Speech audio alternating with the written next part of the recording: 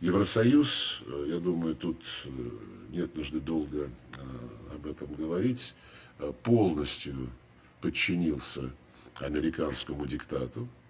И апофеозом этого процесса, который возревал несколько лет, стало недавнее подписание декларации 10 января, совместная декларация НАТО и Европейского Союза, в которой прямо сказано, что у НАТО и ЕС задача использовать все политические, экономические и военные средства в интересах золотого миллиарда.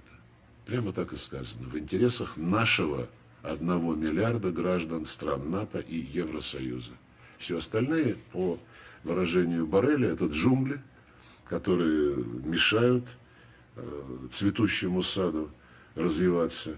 Поэтому эти джунгли необходимо переформатировать, подстроить под свои нужды, превратить в колонии нового типа и безжалостно выкачивать оттуда и дальше, но уже новыми методами, ресурсы. Курс Вашингтона на диктат в международных делах, если по-простому, означает буквально следующее. Нам, американцам, дозволено все, чего мы захотим и где мы захотим, хоть на другом краю земли. Что нам кажется необходимым, то мы и будем делать. А вам, всем другим, без нашего американского согласия, нельзя ничего предпринимать, даже в ответ на прямые угрозы вашей безопасности, которые мы сами создаем на ваших границах. Так же, как Наполеон мобилизовал практически всю Европу против Российской империи, как Гитлер мобилизовал, захватил и поставил под ружье э, большинство европейских стран и бросил их против Советского Союза. Сейчас тоже Соединенные Штаты сформировали э, коалицию из практически всех европейцев по доверенности ведут войну против нашей страны с той же самой задачей – задачей окончательного решения русского вопроса.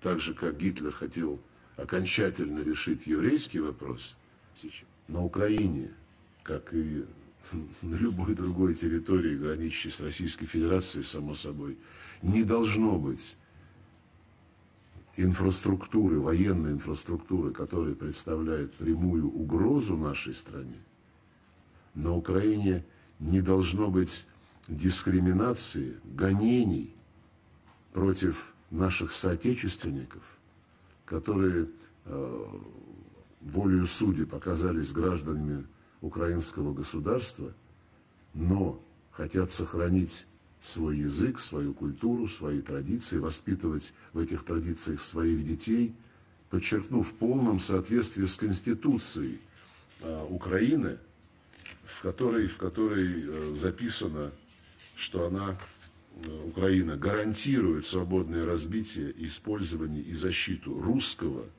других языков национальных меньшинств Украины. Там русский специально выделен. А, и эта Конституция сохраняет свою силу. О переговорах речи быть не может с Зеленским, ну хотя бы потому, что он законодательно запретил вести переговоры э, с российским правительством. Так что э, вся эта болтовня западная о том, что они-то готовы, а вот мы, э, это все от лукавого.